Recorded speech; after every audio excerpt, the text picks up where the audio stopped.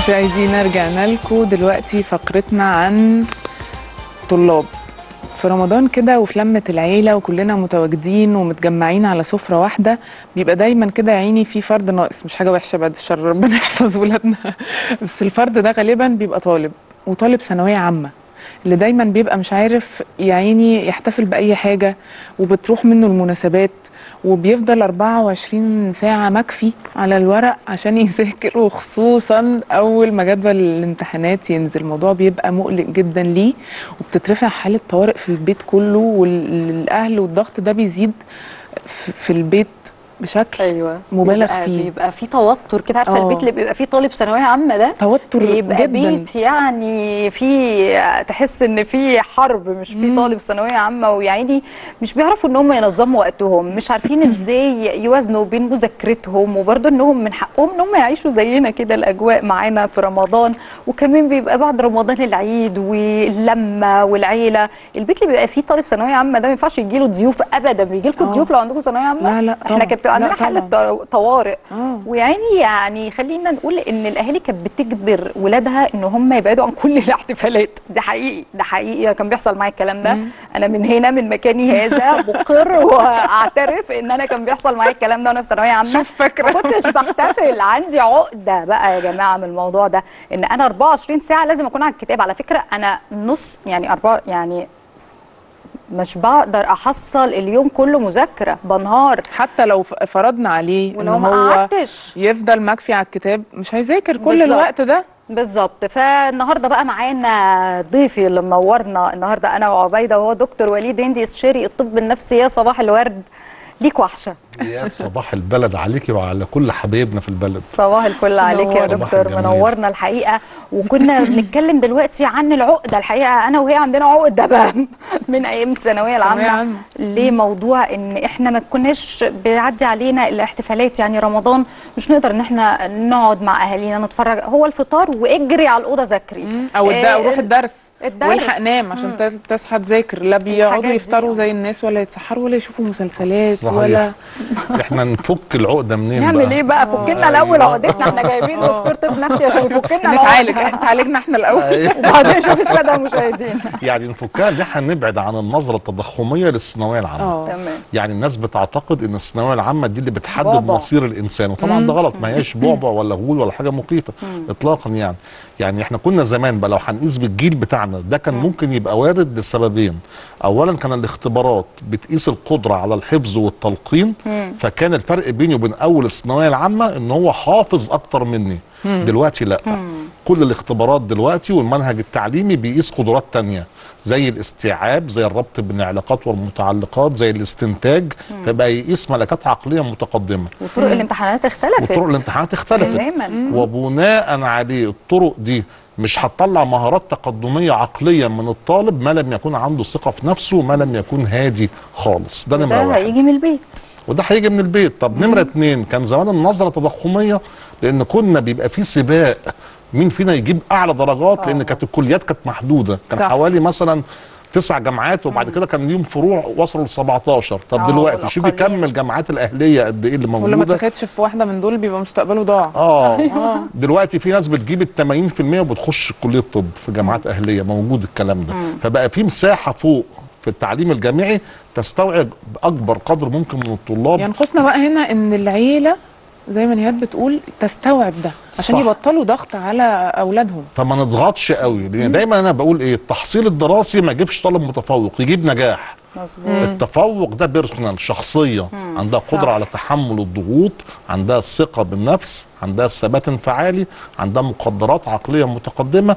ده مش هيتسنى ليها إلا بالهدوء اللي في البيت. صح. فالهدوء اللي في البيت مش بيبدأ من الطالب بيبدأ من أولياء بس الأمور. خلي بالك يا دكتور وليد بيبقى غصب عن يعني الأمهات وأولياء الأمور إن هم حاسين بخوف كبير على ولادهم فبيفضلوا الضغط ده بيبقى جاي بيبقى جاي من الخوف. أكيد. ولكن ممكن يكونوا بيستخدموه بطريقة غلط. ما إحنا بنوضح لهم بقى دلوقتي. قول لهم بقى إيه، داعي للخوف. ولا للقلق لأن بقى في مساحة للاستيعاب لمعظم الطلاب في التعليم الجامعي وبقى في روافد كتير جدا للتعليم الجامعي ما كانتش موجودة أيام أهالينا. فما مش كل يفكروش الناس بنفس دلوقتي الفكر بتقدر ان هي. تدخل جامعات خاصة مثلا.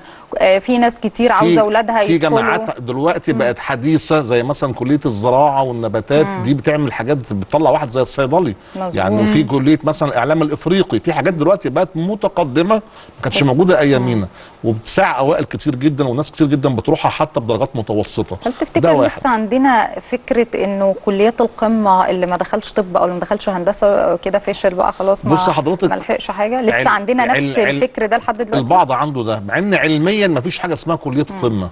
كلية القمة دي اللي أنا بدخلها بتفوق فيها وببقى على القمة. بالظبط. بدليل إن أنا أعرف وزراء وزراء كان معاهم بكالوريوس خدمة اجتماعية زي الدكتور عبد المنعم عماره وزير الشباب والرياضة. ولكن اشتغل على نفسه عمل دبلومة طلع من. الأوائل بقى وزير وبقى محافظ برغم إن كان مجموع في الثانوية العامة مش قد كده. دي معناها إيه؟ إن كلية القمة هي الكلية اللي ببقى فيها على القمة. صح. ولذلك أنا عندي واحد يبقى أخصائي اجتماعي ناجح أحسن من طبيب فاشل. تمام. فده برضو مهم لازم الكونسبت ده يبقى عند الناس. طيب الثانوية العامة بقى الثانوية العامة. ما هو اللي إحنا بنقوله ده يخفف الضغط عن الناس قوي. مظبوط. طب الثانوية العامة بقى بقول لكل أولياء الأمور اللي بيسمعونا نبعد عن جربات المامز الفترة اللي جاية. طبعا. حلوة دي. عاملينها حائط مبكى. مش عاوز. أقول لك. وشيل وحط وهات. كل ده بيسبب ضغط عصبي. على الأم على- نفسها. بيسخنوا على بعض. الأم. وبالتالي على أولادنا. على بيطلعوا على على. عيال يعني. بالظبط. أيوه. توتر وقلق وعصبية ولهس وراء معلومات ضالة كلها أو معظمها. كمية sheets بتتبعت عشان ي- يطبعوها ويقعدوا يحلوها. كتيرة جدا من امتحانات قديمة بقى ومن أيوة. حاجات زي كده. مع إن كل ده. الحل سهل جدا. إيه بقى؟ يعني هو؟ أنا بقالي 3 4 سنين بحضر حفلات أوائل الثانوية العامة على الأقل عندي في اسكندرية. تمام. ببص ألاقيهم من أسر متوسطة مش في مدارس international ما بياخدوش دروس خصوصية ببقى مستعجب. الله وطالعين من الأوائل. وطالعين إيه؟ أوائل الثانوية العامة. طب يا ابني طلعت إزاي؟ يقول لك الحل سهل وأنا قاعد في بيتنا يا دكتور. في منصة مصر عليها اختبارات. منصة مصر عليها منصة مصر عليها اختبارات. بتاعت. وزارة التربية والتعليم. في قنوات مدرستنا واحد واثنين. في. عندنا بعض الجرايد القومية يا دكتور بتطلع اختبارات كنت بحلها. مين اللي. بيعملها؟ خبراء في التربية والتعليم. ما رحتش أي مكان تاني يا دكتور وأنا قاعد في بيتنا. طلعت أول الثانوية في في العامة. نقطة مهمة جدا. سن ال- الطلاب في ثانوية عامة ده خلاص ده مش صغير. صحيح. يعني مش محتاج حد يقعد فوق راسه يقول له ذاكر ذاكر ذاكر افتح الكتاب. زي ما حضرتك بتقول دلوقتي هو دور وشاف م- منصة كذا وذاكر لوحده. فالمفروض يتساب براحته لا، يذاكر يعني وقت ما. يحب ولا لا ذاكر ذاكر ذاكر يفضلوا فوق راسه. لأنه لا، يبقى- لما يبقى في مشاركة- لو سامعينك يبقى في الآخر مشاركه هقول. لحضرتك على حاجة أيوة. يبقى في مشاركة معاه يعني إحنا كنا زمان بنقول البيت بيتشال منه التابلت والموبايل والكمبيوتر آه خلاص سيب الموبايل وامسك. الكتاب ما هو لا أنا ده مش معناه إن هو ذاكر دلوقتي بقى كله شغل بقى على الموبايل لا نخلي معاه الموبايل بس أبقى شايف بيعمل إيه بالظبط ولما الاقيه بيشتغل. إحنا. مشكلتنا برضو في الأسرة المصرية الابن لما بيأثر بنعاقبه أو بنديله كلمتين أو بنزعق طب لما يبقى كويس مش بنعمل إثابة مش آه، بنكافئ مش بنكافئ. مش بنعزز السلوك الإيجابي. يبقى مهم حضرتك وأنت معدي كده بتشوف ابنك بيذاكر الله ينور وإيه الجمال ده وإيه الحلاوة دي وشد حيلك طب قاعد مقوس ليه؟ وتخش تتكلم معاه شوية وهكذا. يعملوا يبقى في عملية مشاركة. يخرجوه يوم يسفروهم صح شوية في على النص. صحته النفسية. يشحن ويرجع. يشحن ويرجع دي محتاجة بقى التنظيم. أيوة. يبقى أنا عندي فكر التنظيم وفقه التنظيم وده مهم قوي. ليلى. يعني إحنا مش داخلين خناقة. تبتدي وتنتهي عند ليلى. آه طبعا أبقى أنا قاعد منظم الدنيا عارف ابني نشاطاته إيه بيحب إيه بيفرح بإيه قدرته إيه؟ أكافئه بيه قدراته إيه أبعد عن المقارنات. ما اجيش أقول. لأختك وهي قدك كانت بتقعد تذاكر مثلا سبع ده ده ساعات. ده ده culture ابن خالتك شوف بيعمل إيه. آه أو ابن خالتك كان طالع السنة في المصرية كلية- لازم، آه المقارنات. دي بتعمل له إحباطات. لازم. أتعامل individual والفروق الفردية وأحترم ملكات ابني. دي كلها امور مهمة. حتى إيه كلمه أكتر حاجة ال- الطالب الثانوية العامة يا دكتور يقدر إن هو يعني يلتزم بيها؟ يذاكر مثلا maximum كام ساعة في اليوم؟ آه قبل الفطار ولا بعد الفطار؟ يعني نصايح كده تفيدهم لو لو, يقدروا ح- لو الولاد هقول ده هيبقى. كلام نظري إنما خلينا في الواقع. إيه الواقع. هو بقى الواقع؟ الواقع إن هو دلوقتي الاختبارات بقت بتعتمد على إيه؟ على الأفكار الجديدة اللي بينتجها الطالب. على السنس على الإحساس. ده مش هيجي بالضغط العصبي. بمعنى إنها دلوقتي النهارده الأولاد عندهم بيت شعر من مدرسة المهجر أو قصيدة معينة. مش هتجيلهم في الاختبار. هيجيلهم قصيدة لشاعر تاني من شعراء المهجر. فبيبقوا عارفين سمات مدرسة المهجر آه، إيه. الحساسية المفرطة الحنين للوطن. آه فمحتاج أفق ويوسع الشغف. ما بس. بالظبط. يبقى فاهم عنده السنس. فوانس إنه يقراها هي بتقول له أنا من مدرسة المهجر. ده حتة مهمة جدا. فيولد أفكار. لما لما يجي له سؤال مثلا يتجه العالم حديثا إلى إنشاء المدن الجديدة البعد عن الاكتظاظ السكاني يطلع منها بالعاصمة الإدارية الجديدة يطلع منها بمساحتها قد إيه يطلع منها بال- بالجدوى الاقتصادية بعد كده في خلال 20 سنة قد إيه يطلع أفكار يولدها. فده مهم قوي توليد الأفكار وهو قاعد بيذاكر علشان يبقى عارف الدنيا ماشية إزاي عنده.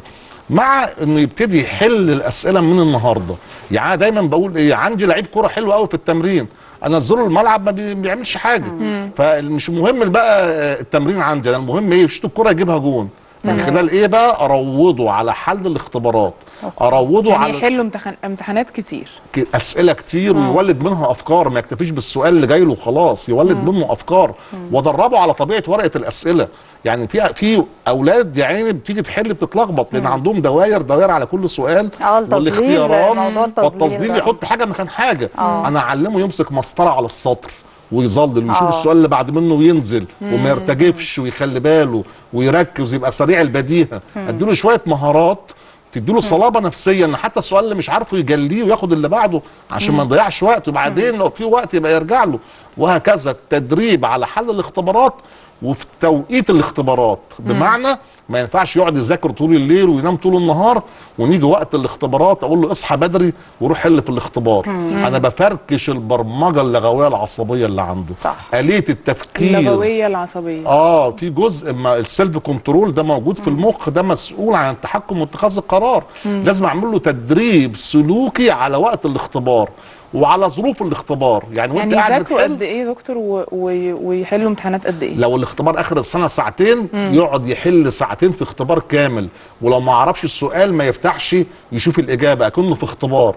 عاوز يروح الحمام ما يقومش عاوز يشرب ما يشربش. أكنه قاعد في اختبار. كامل على إحساس إن هو قاعد في آه، لجنة الامتحان وبيحلوا ده دلوقتي وقت الامتحان. بالظبط وفي توقيت الامتحان. ويا ريت نستبدل كلمة امتحان آه. باختبار لأن الامتحان جاي من محنة. نضغطش برضو عليهم نخليها اختبار. والأهم وهو بيذاكر بقى يبقى في وزن نسبي للمواد. يعني إيه وزن نسبي للمواد؟ أنا طول عمري أحب الشعر والأدب والبلاغه ما ينفعش أقعد أذاكرها 10 ساعات وأسيب بقية المواد. وأركن المادة اللي أنا ما بحبهاش فأرجع أتفاجئ. يبقى آه. في توزيع نسبي في مذاكرتي للمواد وأشغل الفايف سنسز أو الخمس حواس في المذاكرة. ليه؟ لأن في مواد بتتشاف. صح. يعني صح. إيه بتتشاف؟ زي الجغرافيا مثلا. برسم الخريطة بحط عليها المدن الجديدة التوزيع السكاني المحاصيل الزراعية الانتاج الحيواني فاشوفها فال- فتبقى آه. متشافة. فبالتالي لما بروح في الاختبار لو في حاسة. وقعت مني. الحاسة الثانية بترجعها على صح. طول وبتلاحقها. صح. مواد بتتنطق زي اللغات. كنا بنحفظ بالكتابة كده عشان نفتكر. بالظبط. مواد بتتمسك زي الهيكل العظمي والبيولوجي والحاجات دي كلها. مظبوط. فلازم أشغل جميع الحواس وأنا بذاكر ما أفتكر ما, ما التزمش بحاسة واحدة. واكل كويس وانام كويس. هحل كويس معلومات شاء قيمة الله، جدا جداً. جدا, يعني استفدنا منها وأكيد كل طلبة آه، وطالبات الثانوية العامة استفادوا منها دكتور وليد هندي استشاري الطب النفسي نورتنا في صباح يا البلد صباح البلد ويا صباح الفل صباح عليك الجميل. واستفدنا جدا, جداً، والعقدة. شوية شوية تتفك إن هتتفك شاء الله والله إن شاء الله ربنا دلوقتي اتمنى التوفيق بقى. لكل طلابنا